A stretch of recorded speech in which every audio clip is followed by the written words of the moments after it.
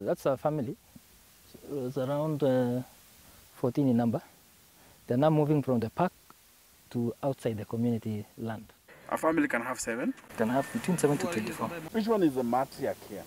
So you, you see this one at the, uh, the, the second, the third one. You see there's these first two. Uh, the, The, the, the, the, the, the, the big in size, the mother. the big one. Yeah, that's the matriarch. And you- most of the time you see when they're moving out, either she's number one or number two. Basically, they normally come to the park during the day, actually to get water and uh, probably get some, a bit of food. And in the evening, this is a phenomenon that is very unique.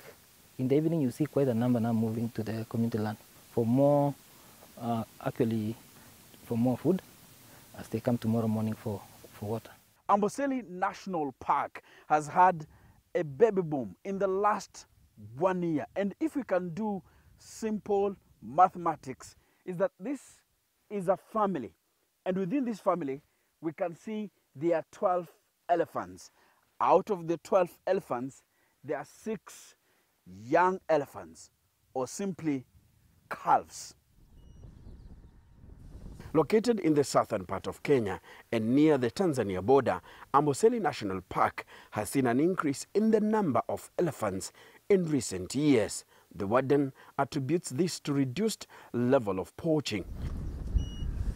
In the last three years, no single elephant in this park has fallen due to poaching, but these animals are facing a new danger, change in land use. The rise of commercial agriculture in historical conservation areas has led to a depletion of their habitat and migratory routes.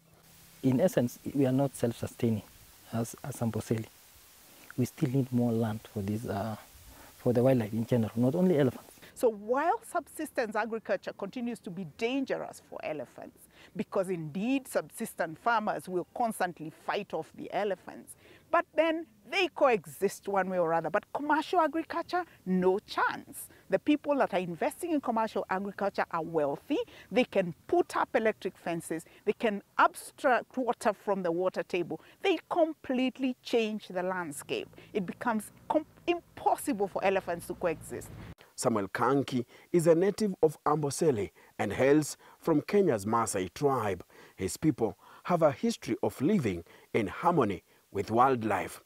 He says changes in the way of life here is affecting conservation of key animal species like elephants.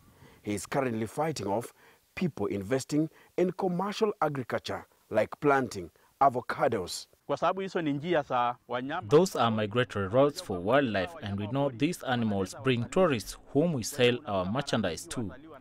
Our youth also get jobs in hotels, and some get employed in conservancies as rangers.